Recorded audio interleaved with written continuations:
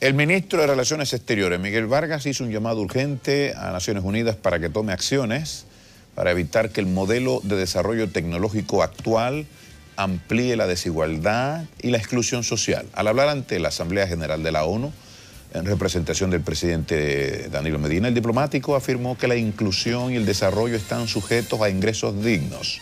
Sin embargo, reveló eh, que hay estudios donde se señala que en 20 años los cambios tecnológicos podrían eliminar el 50% de los empleos.